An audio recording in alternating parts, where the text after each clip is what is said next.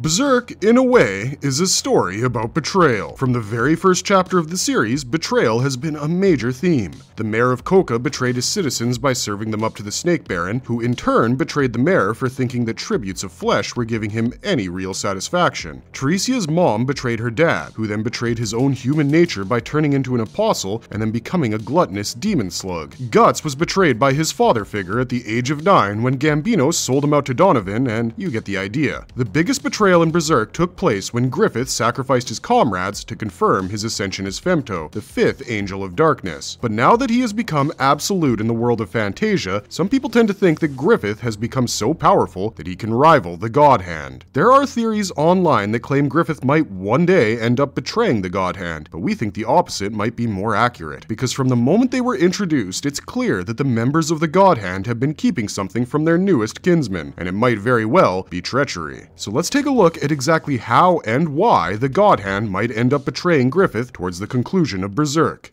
He feels like the most important member of the God Hand from a narrative standpoint, but he isn't. Why Griffith feels like the absolute. Ever since his reincarnation as the Angel of Longing, Femto, it's clear that Griffith has become a being whose power cannot be quantified in human terms anymore. His first offensive act, besides the one you're all thinking about, was compressing a bunch of apostles into a ball of flesh and blood using his newly acquired spatial manipulation powers, though if we're being honest, that was a misfire, since he was aiming for the Skull Knight. Griffith misfires once again as he sees Skull Knight escape the eclipse with Guts and Casca in tow, but by the time he reappears during the Black Swordsman arc, it becomes clear that he has a better grasp over his own skills at this point. See, during the eclipse, Griffith had quite literally died and been reborn as an entirely new being. As such, his actions can be viewed with a certain lens of infancy, in that being a newborn Demon King, Femto had no idea how to use or control his powers efficiently. The Black Swordsman arc takes place two years after that first display of his power, and that is more than enough time for someone to grow up, especially if they're demonic by nature. When Guts re-encounters Griffith within the interstice created by the slug count we mentioned in our intro, he immediately tries to take his head off, but he fails to even get close to the guy. That's because Femto repels him using pure energy every single time without even lifting a finger, and he has such masterful control over himself that he can tank near point-blank cannon fire without flinching. It's also clear that Griffith now has a more keen understanding of the nature of demon kind and how causality functions, because he's the one who does all the heavy lifting when it comes down to convincing the slug count to give up his daughter and be reincarnated once again. Femto is the one who points out that only by sacrificing Teresia will the Count be able to live on, and if the Count rejects this sacrifice, well, his soul's vibrations were harmonizing with the Abyss anyway, and then he summons the damn thing just to prove his point. Griffith realizes his status as the absolute being when he's incarnated into the physical world as the Falcon of Light. The Skull Knight explained to Guts that the incarnation ceremony was more than a shadow on the water, it traced a phenomenon in the divine domain, and so there was no way to stop it from the physical world. Every thousand years, when a maelstrom of malice and death gathers at one particular location, a person from that divine domain is given a body of flesh and incarnated into the physical world as an absolute being. They retain all their godly powers from the divine domain, but are now as real as the stones that paved the streets of Griffith's childhood home. Surely, by being the subject of such a rare phenomenon, Griffith becomes the strongest God Hand member, right? Then there are all the miracles he performs following his incarnation, like being missed by close-range arrow volleys, flying over battle lines on his Pegasus-esque steed, literally charming people into his service, and communing with the souls of the dead to give them peace. Griffith has made himself out to be a prophesied savior whose capital city is the only safe haven for humanity, purely because he made it so. As Femto, his control over his divine abilities have refined to a point where he can manipulate a space-distorting sword slash from a Skull Knight's blade into a lethal strike that burns the forest of the spirit trees in the divine domain and triggers the advent of Fantasia. The last chapter of Berserk, chapter 372, closes with a tagline that says all flows according to his will, and that tagline isn't wrong. Berserk has pretty much been the Griffith show since the Millennium Falcon arc began, and with the titular Falcon now taking his gaze off the west and looking to the east, it feels like things are going to stay that way. Griffith is going to create a second empire of man across the continent of humanity like he said he would in chapter 358, and we've already seen that there's nothing Guts can do to stop it. Even his fellow God Hand members might not be able to do anything about his actions now that his plans have progressed this far, because we haven't seen Slan, Ubik, Conrad, Conrad or Void appear in the world, despite them having supposedly been incarnated during the Great Roar as well. It's possible that Griffith is going east to join up with them, as it would make sense that the God Hand would manifest in the east, as opposed to the west where beacons of goodness like Elfhelm exist, but that's a cookie cutter explanation if you ask us. Considering how he's keeping Casca prisoner in Falconia by basically messing with her mind, and also keeping in mind that Griffith has never had any qualms about using others to get what he wants, it's quite possible that he either has an understanding with his fellow kinsmen or has already neutralized them in order to prevent them from interfering with his prophesized Age of Darkness. Because while it is true that Griffith's current reign was ordained in scripture as a prophecy, it wasn't as the Falcon of Light, it was as the Falcon of Darkness. By every metric presented to us in Berserk, Griffith is supposed to be the strongest entity in existence, a divine being preordained by causality to rule the world and spoken of by the Holy See as a dark demon come to destroy everything. It wouldn't be a shock to see Griffith betray his god hand kinsmen if they got in the way of his business because, as the idea of evil tells him in chapter 83, Griffith's will is the will of evil itself, and by going against him, the god hand members would be going against their very god himself, which we don't think he would take kindly considering the idea of evil literally lives in hell. All of this to say that betraying Griffith has never ended well for anybody, and the God Hand would not be an exception to that rule if it came down to things. But here's where everyone makes a mistake. They forget that Griffith is the new guy. The last member to join the God Hand before Griffith has at least 216 years worth of experience on him, whoever that may be, because that's how the eclipse cycles work in Berserk. And besides, Miura already told us who the key is regarding the God Hand's plan, and it isn't Griffith as you might think. The key is Void the God Hand's true mastermind, and why he might betray Griffith. Kentaro Miura would rarely comment on things that would give away too much about his grand plans for Berserk. He even went so far as to remove a full chapter from the official continuity for that reason, and generally avoided answering any questions trying to guess the future of Berserk. But he did give us one hint about who might be the most involved in it. When Miura was asked about the God Hand's ultimate purpose in the story, he said he couldn't talk about it too much, but that the key was Void. This sort of made sense given that Void seems to be the leader of this group of gothic hellraisers, but then we recalled that Miura had also called Berserk a thousand year long story, and things just started to click for us left, right, and center. See, the term Void is simply referring to the big brained God Hand member we all know and love, but it also might be a reference to a concept in one of Japan's most influential schools of thought, the Godai philosophy. In this philosophy, five major elements are described as being the fundamentals of the world,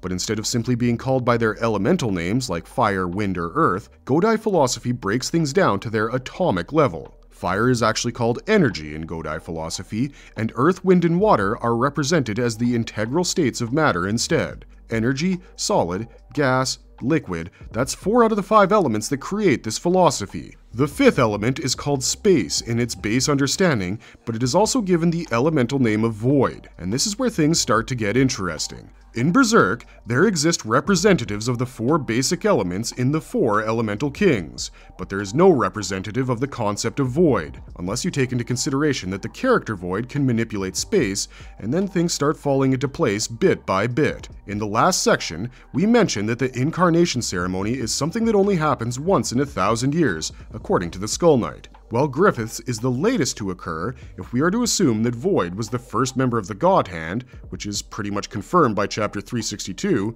then we must also assume that his incarnation ceremony is how Skull Knight knows so much about these demonic developments and why he's stuck in a skeletal armor in the first place. There are many clues throughout Berserk that hint that Void isn't exactly entirely upfront with his so-called kinsmen. Every time he appears in the story, he speaks only as much as he needs to, and this is going to sound ironic considering his eyelids are literally sewn shut, but his gaze gives away that he's almost always holding something back from everyone. In his very first appearance, while the other God Hand members were shocked and awed by Guts' inhuman ability to contend against his pain and attempt at attacking a God Hand member, Void remained silent.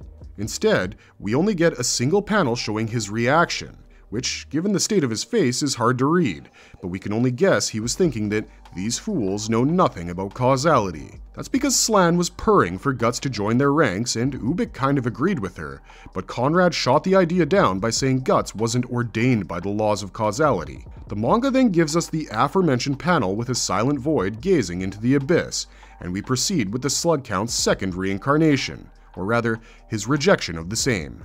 The second time Void appears in the story is when Griffith triggers his own eclipse, and here it is made abundantly clear that Void actually knows about the existence of the idea of evil, as he twice mentions the ungodly god born of man, which is exactly what the idea would describe itself as being if it ever officially appeared in Berserk. This pretty much confirms that Void knows things his kinsmen don't, because while every Godhand member might have met the idea before being reincarnated, they didn't quite give its purpose the kind of gravitas that Void does. Ubik and Conrad are adherents of the causal current, and sure, Slan wants to subvert it only to make Guts her literal plaything, but the authority with which Void declares that all lies within the current of causality is too definitive for it to have held the same kind of meaning that it does when his kinsmen bring up the topic. The God Hand, while partially clairvoyant, aren't all seeing. They had predicted that Griffith would end up becoming their kinsman at the fifth eclipse, and that it would signal the start of the Age of Darkness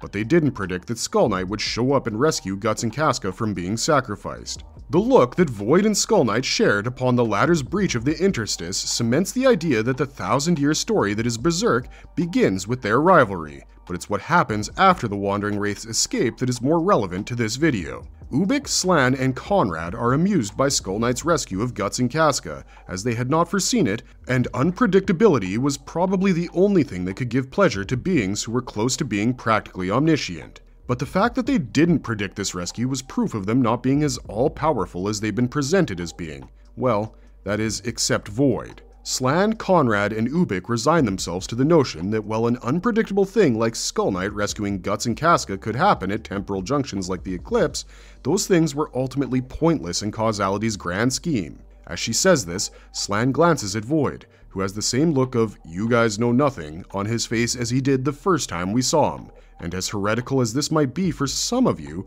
the 3D adaptations of Berserk practically confirm our suspicions that Void is hiding something from the God Hand. In the manga, Slan just glances at Void after commenting that the Godhand themselves weren't omniscient, but in the third Golden Age movie, she straight up asks Void whether Skull Knight's rescue was a part of Causality's plan or not, and the enigmatic Godhand member simply chooses not to answer her question. We haven't seen Void since Griffith's Eclipse, but we have certainly heard of him. In chapter 138, Father Mozgus gives us what we believe to be Void's origin story, and we think that that tale, when combined with Miura's claims about Berserk's actual timeline and the fact that he called Void the key to the Godhand's plan, points to one thing and one thing only. Griffith is about to be betrayed by the people he committed his soul to. Think about it. When Griffith went into the abyss and conversed with the idea of evil, he was told to do as he wanted because his will was the idea's will itself, and by acting on his own desire, he'd be carrying out the will of God. But that conversation took place in chapter 83, which has been removed from the continuity,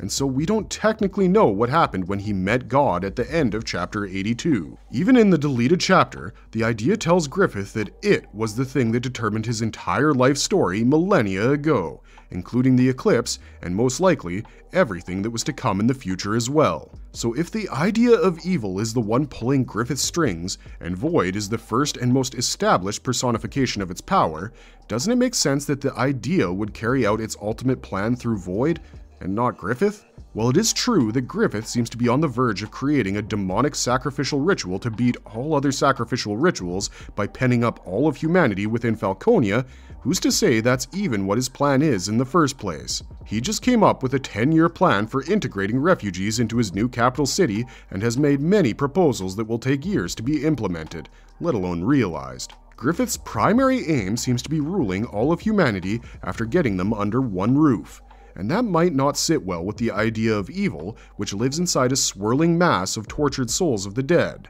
Perhaps it is Griffith's human ambition to rule over the continent of man that puts his comrades against him, or maybe it's the baby boy that fused into his vessel at the time of his incarnation, because it's clear that the Moonlight Boy is not at all working in concert with the God Hand's plans.